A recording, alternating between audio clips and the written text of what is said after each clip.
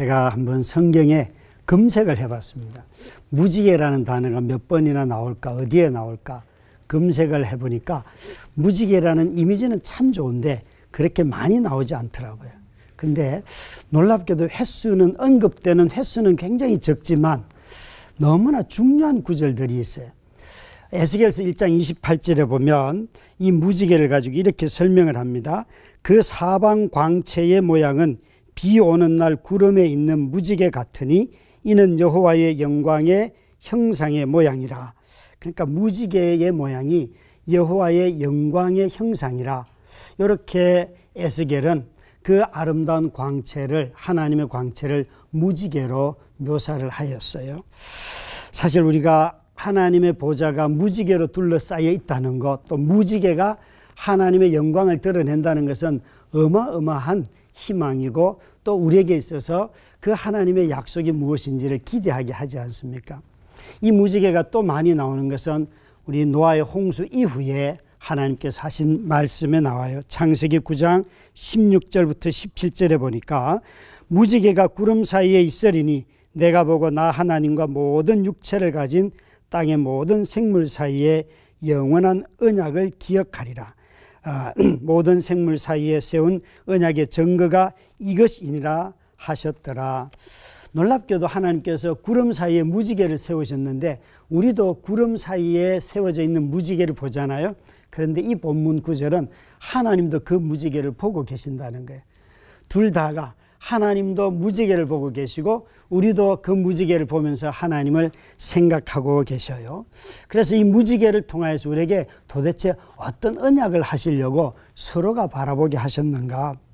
하나님이 이 본문에 내가 이제는 홍수로 더 이상 모든 육체를 가지고 있는 생물들을 멸하지 않고 땅도 심판하지 않겠다라고 말씀을 하세요. 그러니까 사람이 무지개를 보면 아 우리가 죽지는 않겠구나 라고 확신할 수 있다는 것. 하나님이 아, 다르게 표현하면 하나님이 이전에는 아, 모든 사람들이 악함으로 인해서 그냥 땅과 모든 육체를 가지고 있는 생물들과 사람에게까지 다 진노를 표현하셨는데 하나님이 그 진노를 안 하시겠다는 거예요. 우리 김윤희 교수님이 조금 전에 말씀하실 때에 활과 무지개 모양이 같아서 어원이 같다고 말씀하셨잖아요. 그런데 이 활의 방향이 둥근 테두리가 어디를 향하는가가 중요해요. 사람이 바라보면 그 테두리는 하늘을 향하지 않습니까? 그러니까 하나님이 진노를 거두시는데 누구에게 진노하시는가 하는 것을 이 활의 방향, 무지개의 방향은 우리에게 잘 알려주고 있어요. 여러분 물로 하나님은 더 이상 심판하지 아니하시지만 하나님께서는 누구를 통하여 우리를 심판하십니까? 예수 그리스도를 통하여 우리를 심판하시잖아요. 이 무지개 언약을 볼 때마다 우리가 멸망하지 않는 이유는 우리의 선함 때문이 아니라 하나님이 진노하시는 방법을 바꾸셨어요. 이 진노를 감당할 사람은 이 세상에 아무도 없기 때문에 하나님이 자기 아들을 보내셔서 우리, 우리를 향한 진노를 자기 아들에게 다 쏟으신 거예요. 이 어, 시대도 알 수 없는 노아의 시대에도 하나님이 이렇게 무지개를 통하여 자기의 언약을 드러내셨는데 나중에 이제 선지자 중에 호세아 정도가 되면 호세아 시대의 이스라엘 백성들은 전부 다 우상 숭배만 했어요. 그때 하나님께서 진노를 하려고 아, 소돔 고무라와 어, 스보이마라고 탄식하시면서 내가 너희들을 향하여서 막 분노가 진노가 불같이 일어난다 말씀하시는 하나님이 이렇게 말씀하세요. 그러나 내 속에서 거룩함이 타올라서 내가 너희들을 향하여 진노하지 않겠다. 나는 사람이 아니고 하나님이다. 그러시면서 그 진노를 자기에게로 거두시는데 이 하나님의 진노가 우리 주 예수 그리스도에게로 향하지 않습니까? 우리가 무지개를 볼 때마다 하나님의 자기 희생, 진노를 받을 자가 없는 인생들을 보시면서 더 이상 진노하지 아니하시고 자기 아들을 통하여서 진노하시고 되려 우리는 그 진노하시는 아들을 보면서 구원을 얻게 하시는 이 하나님의 무지개. 이것은 우리 모두에게 구원의 약속이고 새로운 세상의 약속이고 하나님의 마음을 알게 해요. 여러분, 우리 하나님이 우리에게 보여주시는 무지개를 볼 때마다 하나님의 자기 찔림, 자기 상처, 자기 고통은 우리를 위한 슬픔의 눈물이고 그 슬픔이 우리를 구원하시는 예수 그리스도. 그래서 예수 그리스도를 그는 슬픔의 사람이라 아버지의 슬픔을 대신하는 그분이 바로 우리 예수 그리스도이시고 무지개는 그것을 보여주는 것입니다. 우리 모두가 이 코로나 팬데믹을 지나면서 우리 너무나 자기 자신을 정죄하고 또 삶의 환경이 변화해서 누군가에게 화를 내고 이런 일들이 정말 많습니다.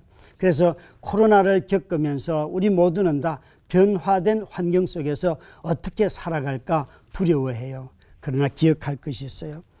여전히 우리 삶에 이 코로나가 팬데믹을 불러온 코로나 바이러스로가 하나님의 심판인지 아니면 인간의 타락이 자연 질서에 가져온 무자기적인 혼란인지 구별하기는 대단히 어렵지만 하나님의 심판 속에도 하나님의 자비가 함께 있다는 것을 기억하고 오늘도 예수 그리스도를 따라가는 우리 모두가 되기를 주의 이름으로 축원합니다. 기도하겠습니다. 아버지 하나님 심판을 이기는 극률의 십자가로 극률의 무지개로 우리 모두가 돌아가게 하여 주시옵소서. 무지개가 뜰 때 자기 아들에게 진노를 쏟으시고 우리에게 생명을 주신 예수 그리스도를 믿게 하옵소서. 예수님 이름으로 기도드렸습니다. 아멘. 옛날에는 그냥 무지개 보면은 어 무지개다 예쁘다 이러고 끝났었거든요. 근데 이제는 어 하나님의 사랑이구나. 하나님이 긍휼이 저렇게 크구나 이렇게 느껴질 것 같아요. 근데 김병년 목사님께서 또 이렇게 설명을 해주셨잖아요. 화살 그 모양대로 이렇게 무지개가 이렇게 떴다. 근데 그 모양을 보면은 화살이 인간이 아닌 하나님한테 향해, 향해 있다 이렇게 말씀하셨는데 하나님의 긍휼이 얼마나 크면은 화살이 본인한테 이렇게 돌리셨고 또 무지개가 어마어마하게 크잖아요. 얼마나 크신 걸까 이런 생각이 든, 들거든요. 이렇게 작은 사람한테 얼마나 큰 걸 물으면 제가 어떻게 대답을 하겠습니까? 아, 하나님의 사랑과 긍휼이 얼마나 큰가라고 묻는 질문은 아마 인류의 믿음을 가지고 간 모든 사람을 다 더해도 음. 그 하나님의 크신 사랑을 아, 더, 다 드러내지 못할 거예요. 음. 못할 거예요. 저는 그, 아, 이 계속 두 분 교수님과 목사님 말씀하시는 것처럼 이 언약이 우리의 심판에 대한 유보이지 심판하지 않겠다는 게 아닌데 음. 그 심판을 누구에게 하셨는가 이것만 생각해도 너무 크다고 생각해요. 그것만으로도 넉넉하다고 생각합니다. 정말 사람들은 자꾸 삶의 어려움을 겪을 때에 자꾸 내가 심판받는다 이 생각을 많이 하잖아요. 이렇게 길을 가다가도 넘어지면 오늘 큐티를 안 해서 그런가 쓸데없는 정제감들이 너무 많은데 만약 그런 방식으로 일대일로 대응한다면 오늘 여기 방송에 나올 분들이 아무도 안 계실 거예요. 못 나옵니다. 네. 네. 그러니까 우리는 매일매일 우리의 생명을 구하지 않아도 하나님이 창조주이신 그분이 믿는 저뿐만 아니라 안 믿는 사람들의 생명까지도 아니 사람만이 아니라 피조물 다른 모든 피조물까지도 지금 붙들고 계시니까 우리가 이렇게 하고 있잖아요. 그죠? 그래서 하나님의 그 긍휼과 사랑이 얼마나 큰가를 어떤 범위로 말할 수는 너무 없는 것 같고요. 다만 예수 그리스도 안에서 우리가 그걸 누리고 있다는 것에 대해서 늘 감사하고 저는 감격할 뿐이에요. 그래서 사실 하나님이 자기 희생이라는 것이 이 노아의 홍수 이후에도 계속 언약 속에다 나타나고 그 이후에 모든 언약에 다 신실함이 하나님 쪽에서 나타나지 사람으로부터 이루어지는 것은 오직 예수밖에 없잖아요. 그래서 언약을 맺은 사람은 참 많으나 그 언약을 이룬 분은 오직 한 분 하나님이신 예수밖에 없기 때문에 아멘. 그 예수를 통하여 우리를 하나님 백성 삼아 주신 것이 감사하고 음. 오늘 또 이렇게 호흡하며 사는 게 너무 감사할 뿐입니다. 네.